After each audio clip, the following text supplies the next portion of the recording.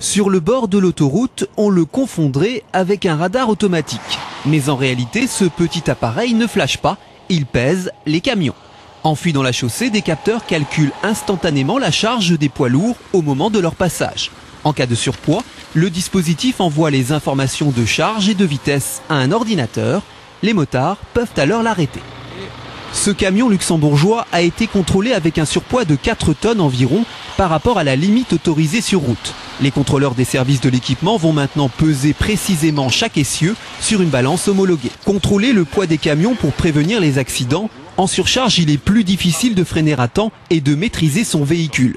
En infraction, le camion est immobilisé et doit décharger son surplus de marchandises sur place.